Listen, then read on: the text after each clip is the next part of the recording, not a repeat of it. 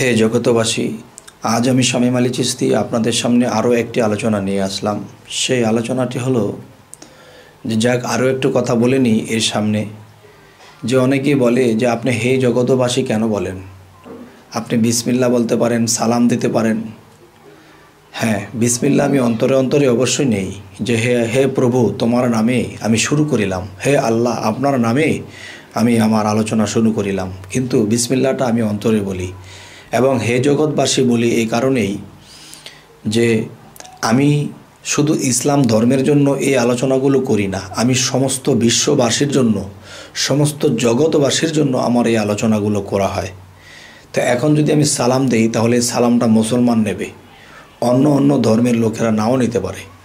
আর যখন বললাম যে হে জগৎবাসী, তখন সমস্ত জগৎবাসীকে আমি ডাক দিয়ে আমার এই কথাগুলো বলতে শুরু করলাম।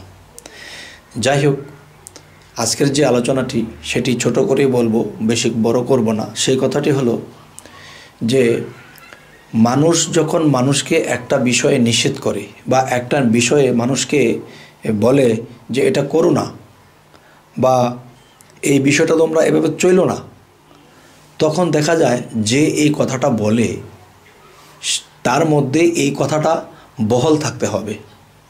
যেমন একটি কথা, ছোট একটা কথা লক্ষ্য করবেন। যে একজনে একটা ছোট একটা সাইনবোর্ড লাগালো গাছের মধ্যে। সেই সাইনবোর্ডের মধ্যে লেখা আছে কি? যে এই গাছের মধ্যে প্যারাক মারা নিষেধ। তাহলে এই গাছের মধ্যে কেউ যেন কোনো প্যারাক না মারে, এই প্যারাকটা মারা নিষেধ। তো এখন আমি বলব, যিনি এই ছোট সাইনবোর্ডটা গাছের মধ্যে লাগিয়েছেন, তিনি কিন্তু যে সাইনবোর্ডটি লাগিয়েছেন, এই সাইনবোর্ডটা প্যারাক গেরেই লাগিয়েছেন। প্যারাক মেরে দিয়ে এই সাইনবোর্ডটিকে লাগিয়েছেন। তাহলে তিনি তো বলেছে যে এই গাছের মধ্যে কেউ প্যারাক মারবেন না। নিষেধ করা হলো। কিন্তু যেটা দিয়ে নিষেধ করেছে, এটার মধ্যেই প্যারাক মারা আছে। তাহলে যে বলে যে তুমি এভাবে চলো, এটা করো না, সেটা নিষেধ, সেটা করো না, এখন সেই জিনিসগুলো যদি আমার মধ্যেই থাকে, তাহলে কিন্তু আমার এই কথার মূল্য থাকবে না। এটা, এই কথাটার একটা প্রমাণ আমি আপনাদেরকে দিচ্ছি। যে হজরত মোহাম্মদ সাল্লাহু আলহিসাল্লামের কাছে যখন হজরত মোহাম্মদ সাল্লাহু আলহিসাল্লামের কাছে যখন কিছু ব্যক্তি বা একটা মা, একটা ছেলেকে নিয়ে আসছে, যে, হুজুর, আমার ছেলেকে নিষেধ করে দেন যে আমার ছেলেটা একটু চিনি বেশি খায়। তখন বলতেছে আচ্ছা ঠিক আছে, কালকে আসেন। কালকে আসার পরে তখন বলল যে, ঠিক আছে আবার কালকে আসেন। তখন বলল যে, ঠিক আছে, তো পরের দিন আবার আসছে। তিন দিনের দিন হজরত মোহাম্মদ সাল্লাহ সাল্লাম বললেন যে, বাবা, তুমি চিনিটা একটু কম খেও তখন ছেলের মা বলতেছে কি, যে, আপনি এই কথাটা প্রথম দিন বলে দিলেই পারতেন, আপনি আজকে বললেন কেন?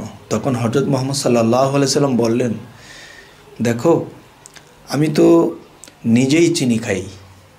এখন আমি চিনি খাই, অন্যকে নিষেধ করি কীভাবে? তাই আমি নিজে চিনি খাওয়া কমিয়ে দিয়েছি, তখন তাকে কমাতে বলেছি। তবে দেখবেন এই পৃথিবীতে আমরা বেঁচে আছি। বেশিরভাগ মানুষ যে নিজে অপরাধ বেশি করে, কিন্তু সে কিন্তু অন্যকে অপরাধী বলে ডাকছে। যারা নিজেরা বেশি বেশি ঘুষ খাইতেছে, বেশি বেশি মানুষের ক্ষতি করতেছে বেশি বেশি মানুষের দিকে কুদৃষ্টি দিতেছে, তারা কিন্তু বলতেছে, এই, তুমি কাউকে কুদৃষ্টি দিও না। আবার বলতেছে, তুমি কিন্তু মানুষেরটা মেরে খেও না এবং কারোটা ঘুষ খেও না।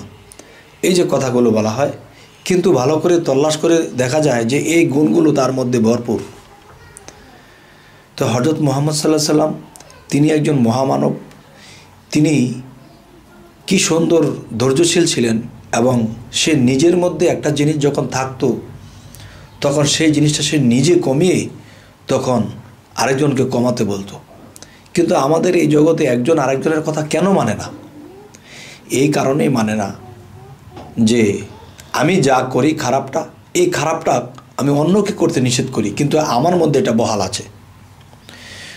তবে হে জগতবাসী আজকে ছোট করে আলোচনা করলাম, আমাদের এই জিনিসগুলো খেয়াল করতে হবে এবং আমাদের নিজেদেরকে যখন শুধরাবো, নিজে যখন পরিষ্কার হয়ে যাব, তখন অন্য কাউকে আমি পরিষ্কার করে নিতে পারব। তো আজ এ বলেই রাখব। সকলেই ভালো থাকবেন। আল্লাহ হাফিজ।